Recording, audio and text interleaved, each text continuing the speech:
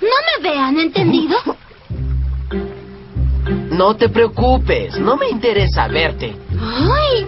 ¡Qué comentario tan grosero! Chipo, ¿por qué te desvistes? Yo también me voy a bañar. Espera. Uy, y tú también, cochinón. ¿Sabes que todo este tiempo me he preguntado por qué no te bañas con Naome? ¿No crees que es de lo más común?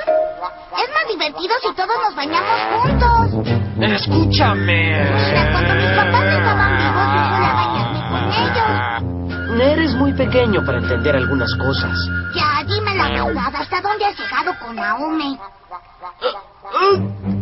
Si les pregunto eso a los adultos, ponen cara de tontos. ¿Por qué será? ¡Ay, mosca peluda! Por tu culpa estuve a punto de decirte algo comprometedor. Uno de tu tamaño, suéltame, suéltame. ¿Qué ocurre?